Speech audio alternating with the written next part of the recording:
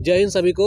जितने भी हमारे S S C G D दो हज़ार अठारह के कैंडिडेट हैं, सब मेरी बात को ध्यान से ज़रा सा सुनिएगा। ठीक है? और बहुत सारे यूट्यूब चैनल वाले हैं, और बहुत सारे स्टूडेंट हैं जिसका हम माए बहन करेंगे, लेकिन समय मिलने के बाद। हम किसी को नहीं छोड़ेंगे, याद रखिए। सबको हम पूरा देंगे। ठीक है? अभी जो हम बात करने जा रहे हैं, ज़रा सा पहले वो सुनिए, और जानिए कि सच्चाई क्या है। आप लोग तो तुरंत कैस, वही बोलता है कि कुत्ता का पूछ कभी सीधा नहीं हो सकता, वही हैं आप लोग। ठीक है? तो पहले पूरा बात सुन लीजिए, तब उसके बाद हम बात करते हैं। तो बहुत लोग अफवाह उड़ाए कि रणबीर सर भाग गए, इधर हो गए, वहाँ चले गए, ये वो। कुछ कुछ यूट्यूब चैनल का लिस्ट भी मेरे पास आया है कि कौन कौन है महान आदमी। हम सब काम माए बहन करेंगे, याद रखिए, हम किसी को नहीं छोड़ेंगे। किसी को नहीं। कुछ कुछ स्टूडेंट है, उसका नंबर भी है मेरे पास आया है, हम किसी को नहीं छोड़ेंगे। ठीक है? लेकिन अभी जो हम बोल रहे हैं, पहले उसको क्लियर हम कर दें, तब। तो आप लोग, हमारे रणवीर सर को बहुत उल्टा पुल्टा बोले इधर उधर बोले। रणवीर सर से बात करने के बाद ऐसा लगा कि सर को बहुत काफ़ी दुख हुआ है, आप लोग का बात सुन के, ठीक है? दूसरा बात, कि रणवीर सर जो वहाँ गायब हुए थे, गायब तो हुए नहीं थे।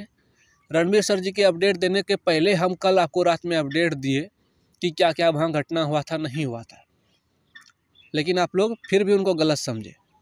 एक बात याद रखिए हर हमेशा कि आप लोग भी कभी ना कभी अर्धसैनिक बल से जब ज्वाइन कीजिएगा, उसके बाद आप लोग भी पूर्व भूतपूर्व अर्धसैनिक बल बनिएगा तो आपके साथ भी इसी तरह घटना होगा, नया स्टूडेंट आपको इसी तरह कुत्ता की तरह करेगा। ठीक है? अभी आप किसी का वैल्यू नहीं दे रहे हैं। ठीक है? देखिए तब क्या होता है। तो हम यही बात कहने के लिए जा रहे हैं कि एक ऐसे आदमी के बारे में आप गलत सोचे। जिसके कारण से इतना कोरोना भरा हुआ पीरियड में आप लोग का रीमेडिकल प्रक्रिया चालू हुआ, आप लोग का S S C G D दो हज़ार अठारह का कार्यक्रम आगे बढ़ा। नहीं तो किसी का माँ का लाल नहीं है, जो कि अभी दिसंबर के पहले या जनवरी के पहले आप लोग का रीमेडिकल प्रक्रिया शुरू करवा देता गारंटी कभी नहीं होता, अभी आप लोग झूलते रहते और सर्च करते रहते कि कब होगा, पूछते रहते फ़ोन करके। एसएससी वाले से और सीआरपीएफ वाले से कि कब होगा। रीमेडिकल प्रक्रिया, शुरू हम लोग का प्रक्रिया आगे बढ़ाइए। कैसे हुआ? ये सब रणवीर सर जी के द्वारा ही हुआ। आप लोग जाके पता कीजिए। ठीक है? तो इतना आप लोग के लिए कर रहे हैं सर। अच्छा ठीक है, दिल्ली में वो अपने पॉकेट से खर्चा किए, अपने पॉकेट से पैसा लगाए, अपना दौड़ धूप के परमिशन लिए सब जगह से। स्टूडेंट से अधिक वो परेशान थे। उनका तबीयत भी ठीक नहीं था उस दिन। और अपने पॉकेट से खर्चा करके झंडा, टोपी, व्यवस्था करना इधर उधर टोटल वो चीज़ किए, बाहर से अपने कुछ साथी को मंगवाए। उन वो भी इतने परेशान हुए कि आप विश्वास नहीं कर सकते। और आप बोलते हैं कि मेरा लीडर भगोड़ा है। रणबीर सर ऐसा आदमी नहीं है जो कि कभी भाग सकते हैं। ठीक है? वो कोई नेता नहीं है। आपको बार बार हम समझा रहे हैं। और अब ये चीज़ उठा के उठा लीजिए मतलब कि अब आप लोग के लिए रणबीर सर कभी भी कुछ करेंगे। और धीरे धीरे हम भी अब कुछ नहीं कर पाएँगे। हम भी अब हाथ उठा रहे हैं धीरे धीरे। आप लोग का हम नाटक देख लिए। आप लोग हैं कि जब आपको लाभ मिले, तब उधर आप लोग सट जाते हैं। ठीक है? अभी तो हम किसी का माए बहन नहीं, लेकिन जब हमको समय मिलेगा तो हम सबको पूरा देंगे। याद रखिए। हम किसी को नहीं छोड़ेंगे। हम सबका एकदम, सबको हम देखें कि कौन कौन आदमी है। और सबका लिस्ट है मेरे पास। यूट्यूब चैनल वाले का लिस्ट है। सलाह हम देखना क्या करते हैं। अच्छा पहले हमको पूरा बात क्लियर करने दीजिए। नहीं तो वीडियो लंबा हो जाएगा। आप लोग नहीं सुन पाइएगा मेरा पूरा बात। तो रणबीर सर जी के कारण आप लोग का आज प्रक्रिया आगे बढ़ा। ठीक है? उसके बाद आप लोग जो वहाँ पे धरना प्रदर्शन करने गए। अच्छा आप लोग क्या सोच के गए थे वो हमको ये बताइए तो। क्या सोचे थे? वहाँ एकदम सीट बढ़वाइए, लेंगे सिग्नेचर करवाइए, लेंगे। यही सोच के गए थे कि एक प्रदर्शन करने गए थे, एक अपना बात रखने गए थे। ये बताइए, वहाँ पे घटना स्थल पे माहौल बिगड़ने के कारण इस प्रकार से हो गया। और जानते हैं, अगर रणवीर, देखिए, यही सब बात है कि आप लोग कभी नहीं समझ पाइएगा। आप लोग अभी ज्वाइन नहीं किए हैं, आप लोग जब उस पद पर जाइएगा तब आपको पता लगेगा कि जिम्मेवारी क्या होता है। सुनिए सीआरपीएफ का एक गाड़ी देखे थे आप लोग, वहाँ पे भरा हुआ था? सबको गांड में डंटा मारता और उठा के ले जाता है। समझे? सबका वेरी पुलिस वेरिफिकेशन में दिक्कत होता बाद में, और हाथ गोड़ अलगे टूटता वहाँ पे। तो रणबीर सर कहीं भी किसी प्रकार का घटना होने नहीं दिए। बिल्कुल शांतिपूर्वक वो सब कुछ जान रहे थे और शांतिपूर्वक आप लोग को बोले कि घर चले जाओ। आप लोग के मन में तकलीफ़ हुआ कि हम लोग इतना दूर से आए, हम लोग जा रहे हैं, कुछ फ़ायदा नहीं हुआ। आप लोग जानते हैं क्या क्या हुआ? जो काम आप लोग करते वो आपका काम करके सर आए। एसएससी हेड ऑफ़िस गए, गृह मंत्रालय गए C R P F D G के पास गए, राष्ट्रपति भवन गए। अब आप क्या चाहते हैं जी? अब इतना कर लेते हैं क्या? आप अकेले सुनिए सुनिए। आप अकेले इतना विद्यार्थी ना, सिर पहुँच चले जाते हैं ना तो सबको गाँव में डंटा मार के भगा देता है। किसी का वहाँ कोई वैल्यू नहीं देता। ठीक है? रणबीर सर जी थे, जो कि आप लोग वहाँ पे आधा घंटा, दो घंटा जो भी बोल पाए, खड़े रह पाए उस एरिया में। किसी गाँव में दम नहीं था। हम फिर से बोल रहे हैं। गुस्सा हमको बहुत लग रहा है। अब हम भी आप लोग के लिए कुछ नहीं कर पाएँगे। हमको भी लग रहा है मन में। ठीक है?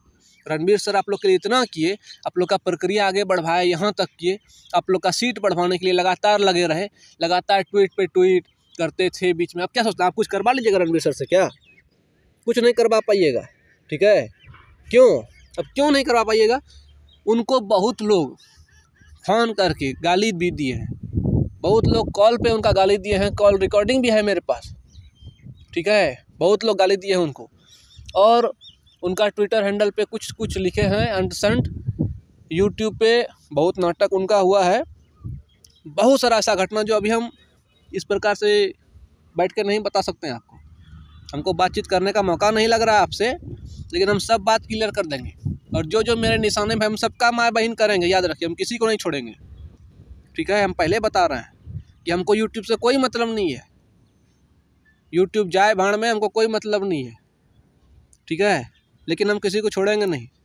और एक बात, अगर आप लोग सही में हमको मानते हैं, और सही में अगर हम आपके लिए कुछ किए थे कभी भविष्य में, भूतकाल में, या अगर सही में आप कुछ समझते हैं हमको तो एक तो काम कीजिएगा। अगर ज़रा सा भी शर्म बचा है तो नहीं तो कोई फ़ायदा नहीं, ठीक है?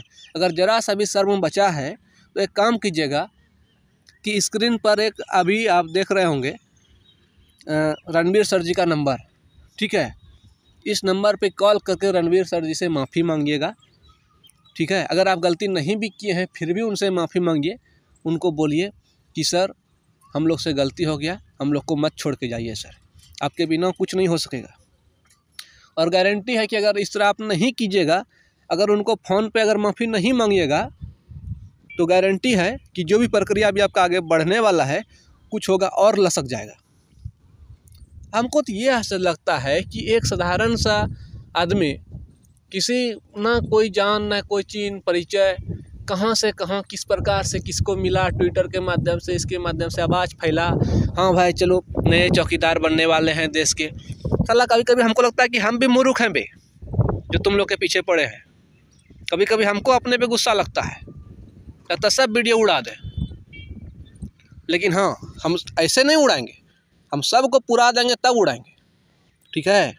हम भी बहुत कंट्रोल करके रह रहे हैं। वही नाटक सबका देख रहे हैं हम।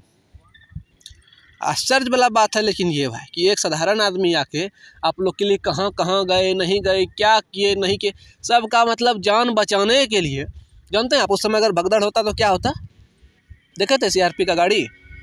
सबको, सबके गांड में डंटा लगता। ठीक है? लेकिन रणबीर सर किसी को बिना कुछ विशेष समझाए, खाली शॉर्ट में बोलते गए कि हाँ निकल जाओ निकल जाओ, चले जाओ चले जाओ। क्या क्या, कुछ कारण था कि नहीं जी? रिस्पेक्ट करना सीखिए, आप लोग भी भविष्य में सैनिक से पूर्व, भूतपूर्व सैनिक बनिएगा, रिस्पेक्ट करना सीखिए किसी का। अभी इस तरह है, मर्दे, हमको तो हाँ वीडियो वीडियो बनाने का मन नहीं करने लगा हमको, ठीक है? ये सब चीज़ सुन के। एकदम बिल्कुल हम दिल से बोल रहे हैं, एकदम दिल से बोल रहे हैं। अब हमको ज़रा सा भी वीडियो बनाने का मन नहीं करता है। हम रणवीर सर से जो बात किए, हमको ऐसा लगा कि आप लोग बहुत गलत किए हैं उनके साथ। इसलिए हम बोल रहे हैं कि उनसे माफ़ी मांगिए। जो भी किए हैं, जो भी यूट्यूब चैनल वाला है, वो यूट्यूब चैनल वाला अपने यूट्यूब के माध्यम से बताएँ इस बात को। ठीक है? हम गारंटी देते हैं कि आप लोग वहाँ पर जाके कुछ नहीं उखाड़ पाते अगर रणबीर सर नहीं रहते तो। आप आप और आप उनको गलत बोल दिए, बुरा भला बोल दिए उनको। ये बहुत आप लोग गलत काम किए हैं जी।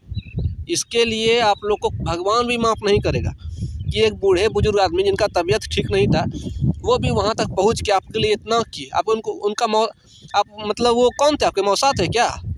कौन थे? समझने की बात कीजिए, उनसे माफ़ी मांगिए, ठीक है? नंबर उनका डिस्क्रिप्शन में भी हम दे रहे हैं, उनसे फ़ोन करके उनसे माफ़ी मांगिए, क्लियर बोलिए और बोलिए, सर, हम लोग का साथ दीजिए, नहीं तो हम लोग का कुछ नहीं होगा। बोलिए, नहीं तो फिर मरते हम हमको समय मिले तो हम सबका माई बहन पुराते हैं ठीक है?